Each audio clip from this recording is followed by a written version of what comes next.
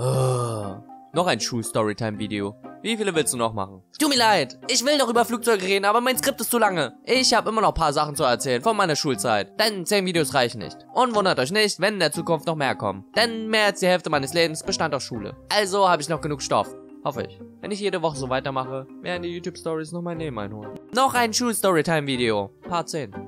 Meine Grundschule war so etwas wie eine Sonderschule. Sie hat besonders Sonderschüler unterstützt. Also gab es so einige Schüler, die ein bisschen sonderbar sind. Keine Sorge, ich war keiner der Sonderschüler.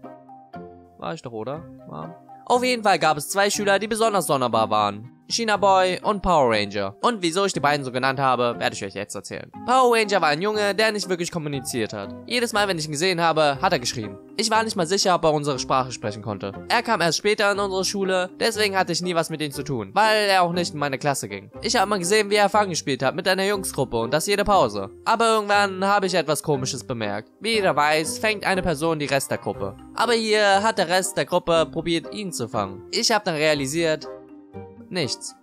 Ich habe nichts realisiert. Ich habe immer noch gedacht, die spielen. Als Kind war mir das Konzept Mobbing noch fremd. Ich kam nie auf die Idee, dass er vielleicht gemobbt wurde. Und bis heute weiß ich nicht, ob er wirklich gemobbt wurde. Es sah manchmal so aus, als ob er Spaß hätte, aber das hätte auch ein Verteidigungsmechanismus sein können. Dieses Fangspiel hatte auch irgendwann ein Ende. Ich habe ihn dann normal in den Pausen gesehen. Und jetzt zu seinem Namen. In meiner Grundschule hatte ich sowas wie eine Schulsecurity. Die waren die Cops der Schule. Wenn es mal Probleme gab, ging man zu denen und hat nach Hilfe gefragt. Ich persönlich fand es irgendwie ziemlich unnütz und lächerlich. Denn ich war irgendwie nicht bereit, meine Probleme von Mitschülern lösen zu lassen, die nur ein bis zwei Jahre älter waren als ich. Wenn es Probleme gab, waren doch die Lehrer zuständig dafür. Und wenn ihr jetzt an Cops denkt, so sahen die nicht aus. Die waren ganz normale Schüler, bloß mit einer orangenen Schärpe. Warte. Die waren Fillmore!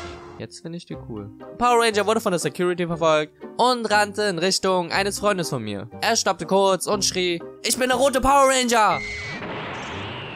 Ich sprich doch meine Sprache.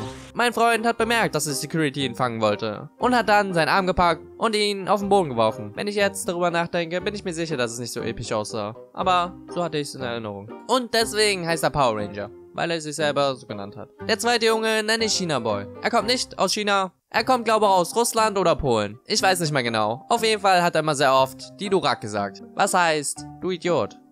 Glaube ich. Kann mir einer sagen, welche Sprache das ist? China Boy hat hundertprozentig nicht Deutsch gesprochen. Und er hatte mal ein Wort, was ihn besonders aufgeregt hat. Das war China. Deswegen nenne ich ihn China Boy. Ich glaube, ich sollte es geheim lassen, dass ich Chinese bin. Einmal ist er so krass ausgerastet, dass er einen Klassenkamerad von mir ins Gesicht geschlagen hat. Das Ding war aber, China Boy hat den Jungen geschlagen, der eigentlich sehr sanft ist, aber ziemlich aggressiv werden konnte.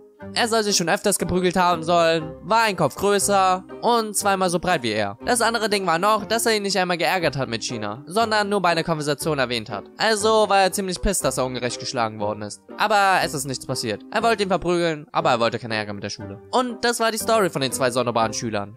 Ich hab nichts mehr zu erzählen. Außer, dass einmal als ich Sportunterricht hatte. Die Jungsgruppe meiner Klasse spielten Fußball und die Mädchen haben getont am Reck. Als gerade ein Mädchen bereit war, sich am Reck zu drehen, ist aus Versehen ein Junge in ihr Privatbereich gerannt. Sie fiel hin und er fiel hin. Wenn ich jetzt so darüber nachdenke, ist das voll die Anime-Szene.